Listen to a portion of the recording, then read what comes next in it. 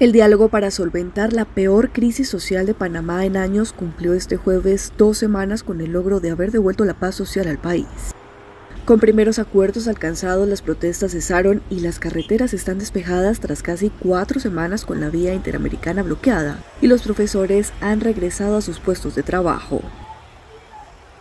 La llamada Mesa Única de Diálogo entró en la segunda etapa de la primera fase para abarcar los cuatro temas pendientes de los ocho que integran la agenda, entre esos la rebaja del costo del servicio eléctrico y la corrupción.